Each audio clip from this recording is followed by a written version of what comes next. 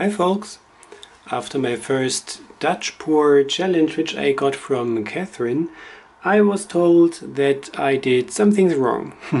or actually I asked what I did wrong. And really a bunch of you directed me to Rinske and I had a look at her channel and looked up what she's actually doing. So a couple of you also mentioned in my comments what I should change. So Mostly it was use less paint, don't tilt, and my paint was probably still too thick.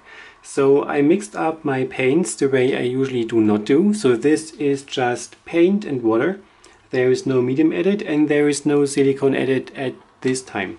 But I'm really not sure if my paints behave the same and if they do anything without the silicone attached when it comes to cell creation. So I will give it a new shot.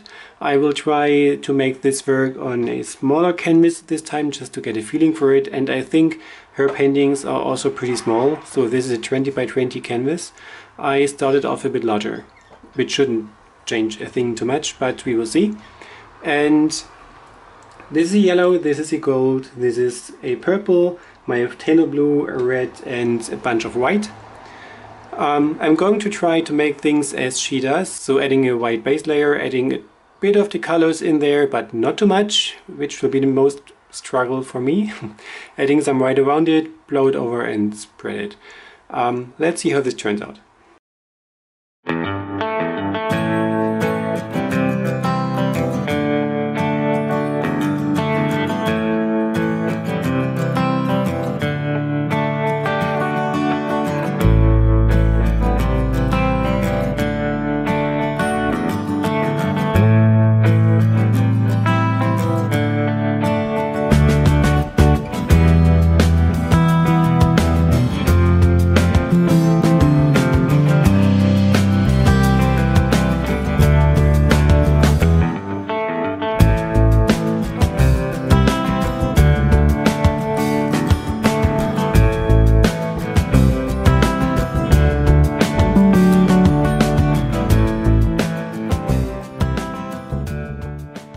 Better than the first ones, but I need to try this more. And there is not so much happening when it comes to cells because of the silicone, so I'm going to try to add some silicone to the paints and see if this changes things.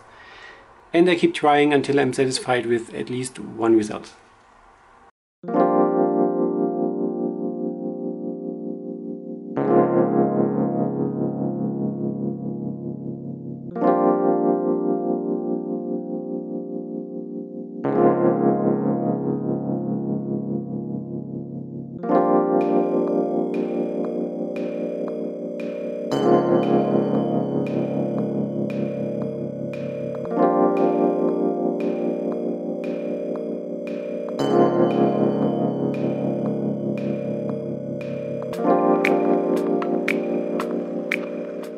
Well, pretty much like this one. Perhaps still too much paint, I guess. Pretty sure too much paint. But this is a keep, I think. And I will try another one with less paint.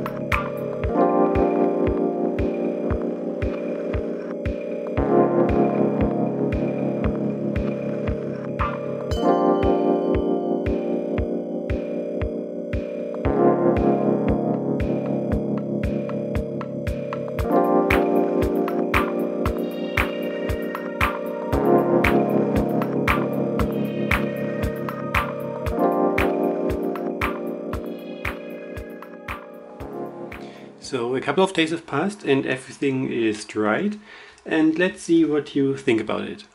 It looks pretty cool in this area here, but I don't really like the cells forming up so much in this area. And overall it looks a bit, well, composition wise it's not the best thing I did so far. So this is not a keep I think.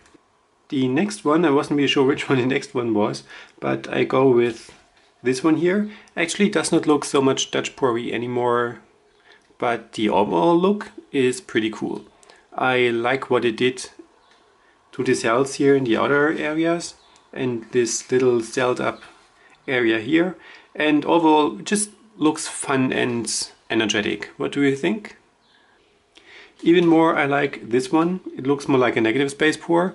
So again, pretty large cells, some gold lacing. I hope you can see it when it tilted against the light. We still don't have sun here, so it's not as pretty as can be when I show it. So when the sunlight hits it, the gold lightens up really, really cool. But, well, haven't seen the sun for a while. yeah, but overall, this one is, I think, the coolest from the entire set.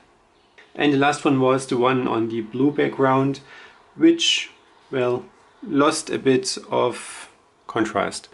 Here it's pretty cool. Perhaps it looks nice as a space scene topic because this outer, yeah, darker color here, it is kind of cool. And yeah, so this is my second Dutch pour attempt. Perhaps I'm going to try it a last time with even thinner paint. I don't know. Although I did a better job on those as I did on the first, let's put it center for you. on the first attempt in my in one of my last videos, they still are a bit cheated, so I added silicone, which I shouldn't do. I'm not sure if this is my technique after all. So, but it is fun to do. So if you get great results, keep going. For me, it's, yeah, not my technique. But, well, I hope you liked the video. I hope you enjoyed watching. If you did, please give me a thumbs up, subscribe, of course. Leave a comment if you have any questions or ideas or recommendations, whatever.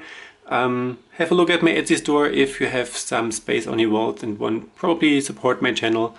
Social media links are down below. You know the deal. Everything is down below in the video description. So thank you for your time. Thank you for watching. And other than that, I hope to see you in my next video. Have a great day. Bye bye.